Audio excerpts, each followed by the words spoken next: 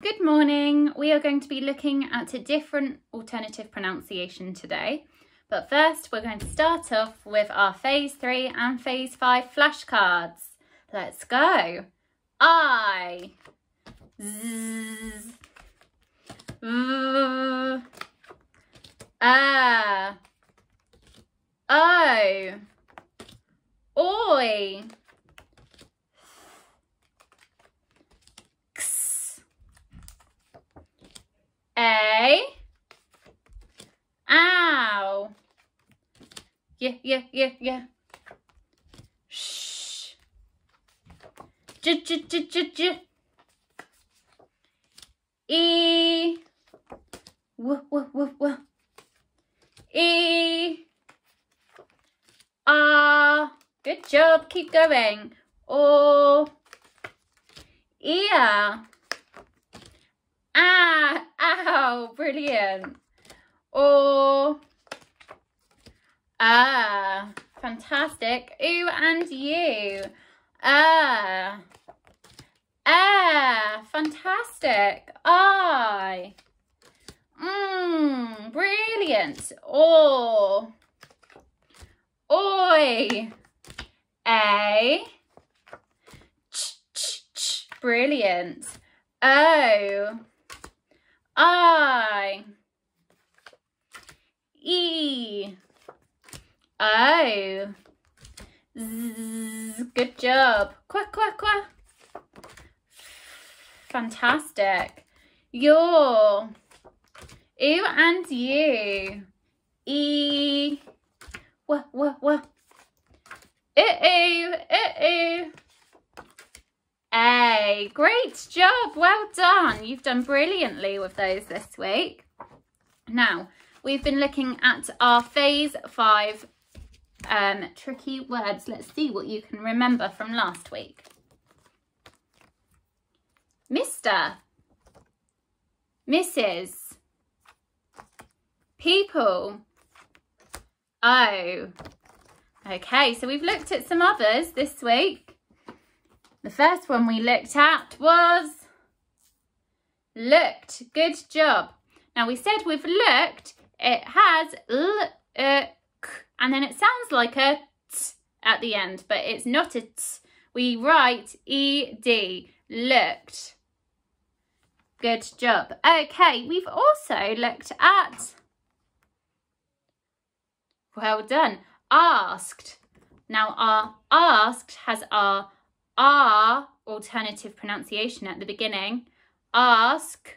And then just like looked, it sounds like a t, but it's actually an ED. Asked. And we've also seen,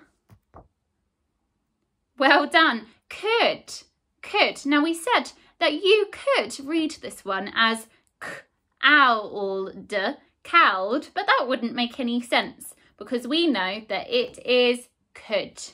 Good job. Okay, our new tricky word, our last tricky word of the week is good job, called, called.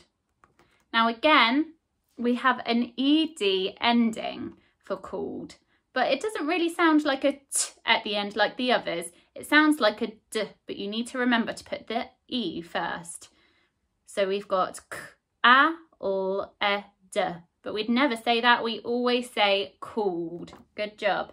Have a go at writing called down on your whiteboard. Or on your paper, sorry. Let's have a go together. So called starts with a C. A, double trouble L, E-D, that E-D ending again.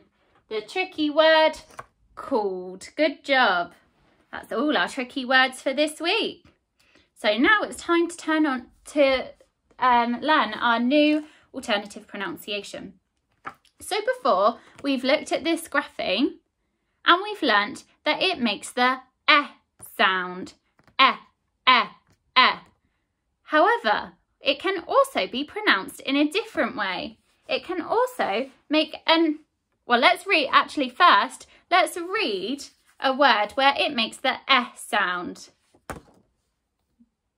B, eh, bench, bench. Bench, the word is bench. However, this grapheme can also make an E sound. Can you say E? Good job. Let's have a look at some words where the this grapheme is pronounced as E. Mm, E. The word is me. Good job.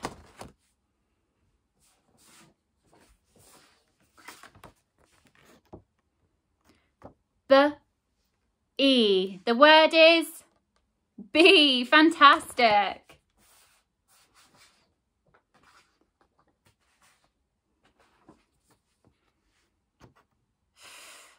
R E Q E N Frequent. The word is frequent. Brilliant. We've got both our E and our E pronunciation there.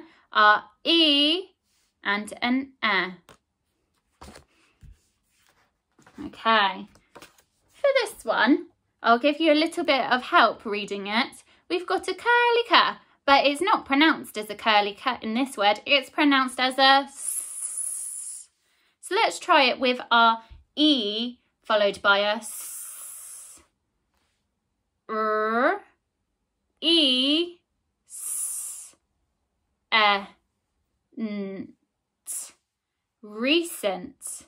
Recent. Good job. Again, we've got an E and an E in the same word. Okay, remembering that we've just pronounced the curly K with a S sound, we're going to do the same here using the E pronunciation for this grapheme. D, E, S, E, N, T. Decent. Decent. The word is decent. And again, we have our E and our E. Good job. Okay, I think that's enough reading words. I think we're ready to read a sentence. Have a look at my sentence at the top of my board and have a go at reading it yourself. Okay, let's read it together. Recently, recently, I got a dog, dog, and, and I, uh-oh, what's this? My tricky word, called, called, him, him, Dexter. Uh, Dexter. Let's read it all together. Recently, I got a dog and I called him Dexter. Good job. And you all met Dexter on my video the other day as well. Okay, time to do some writing. The first word that I want you to write is the word she she. Now remember, we are looking at this letter, this grapheme, and we've learnt that it makes the E sound, but it's, it's written like this. So with that in mind, write the word she. Okay, let's do it together. Sh. E. She. Good job. Now let's write he. He. Okay, let's do it together. E. Okay, the next one is refund. Refund. Let's do it together. R. E. Uh. N. D. Okay, last one. Let's do recent, recent. Now remember, when we looked at reading the word recent, the sound was made by a curly K. Recent. Let's do it together. R, E, S, A, N, T. Remember we said that we have our E pronunciation at the beginning of the word and then here we have the eh pronunciation of the word, recent. I think we're ready now to write some sentences. The first sentence I would like you to write is, can you give me a refund? Can you give me a refund? Have a go writing it now. Okay, let's do it together. Starting my sentence with a capital letter. Can. A. N. Finger space. U. Yep. U. Tricky word, you. Give. G. I. Now remember, we mentioned the other day that in the English language, a word never ends in v. So we need to put an e on the end. Can you give me, got my E pronunciation there, can you give me a refund? R, E, my E pronunciation, fund, a, n, d. Now, am I asking for a refund or am I telling them to give me a refund? I'm asking. So at the end, I need a question mark. Good job.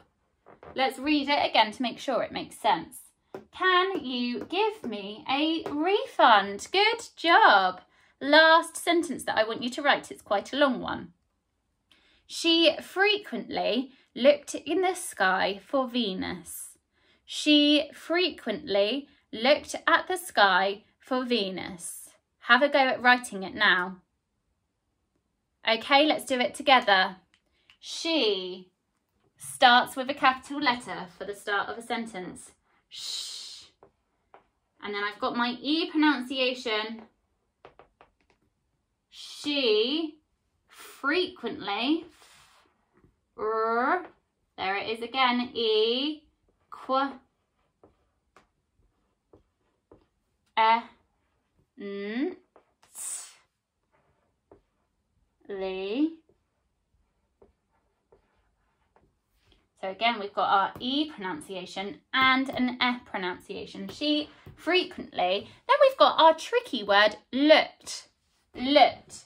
Now I know it's l, uh, uh, so uh, kicking her, look. Now it sounds like a t, looked. Do I write a t? No, I write an E D E D. Good job. She frequently looked in, or sorry, at the sky, at the sky for or Venus. We've got that E sound again. E pronunciation of our grapheme. V, E, N, S. Now, am I asking if she looks in the sky for Venus or am I telling you? I'm telling you. So at the end, I need a full stop. Good job. And we always read our sentences again to make sure they make sense. She frequently looked at the sky for Venus. Fantastic work, brilliant work on all of your alternative pronunciations this week. And I will see you next week for some more. Bye.